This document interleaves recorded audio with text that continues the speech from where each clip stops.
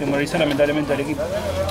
Sí, lo que pasa es que eh, queda bronca porque creo que no jugaron más para, ir hacia abajo, porque la verdad que el partido sí estuvo muy peleado en la cancha, pelotazo. Eh, nosotros estamos, aparte de tener mala suerte, tampoco podemos calar con, con las posibilidades las tenemos, eh, tenemos cabezazos, hay, hay posibilidades. Y bueno, cuando estás contra eso que hay que seguir trabajando y ¿qué vas a decir? Hay que levantar la moral porque encima creo que nos termina de matar el, gol en contra porque lo teníamos ahí como para empatarlo.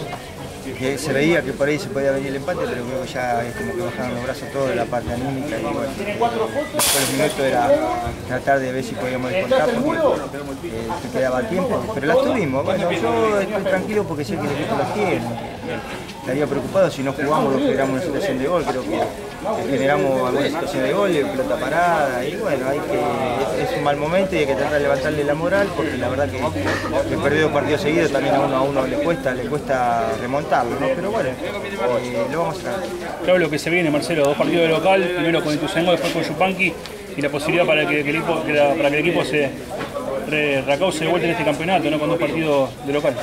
Sí, la verdad que eh, te digo, en los planes nuestros no estaba en, en el plan de los jugadores, tampoco estaban para esos partidos, yo creo que, que bueno, que se dio así y ahora hay que, hay que tratar de, primero está Ituzaingó y hay que tratar de, de volver a, tener a fútbol en casa y, y de ganar, ¿no? Tenemos que empezar a ganar el local para, para que ellos también le, levanten la moral, porque esta semana va, va a ser la partida.